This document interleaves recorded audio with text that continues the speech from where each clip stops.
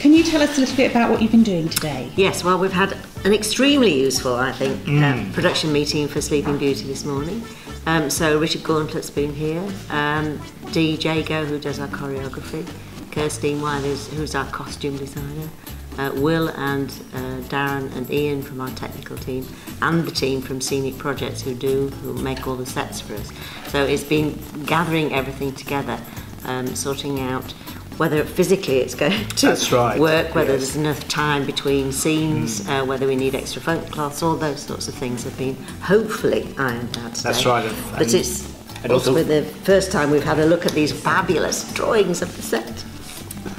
That's right. It's um, it's, it's been a, um, as always, not only a challenge but also a, it's um, um, it's an enjoyable experience um, because with Panto especially there are so many different scenes.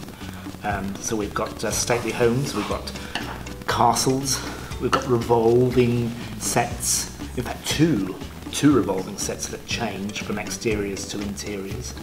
Um, haunted haunted uh, castle interiors um, and spectacular finales, which um, is, I suppose, is a little bit of a take on, on a sort of cathedral setting. Yeah, absolutely. Yeah.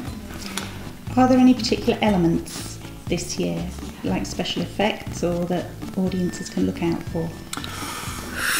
Not sure whether we can give all that No. away. Actually, it's rather secretive at the moment. But yes, I mean, lots of um, lots of um, special effects, and as usual, really, um, lots of comedy, um, probably quite a lot of water. Um, yes.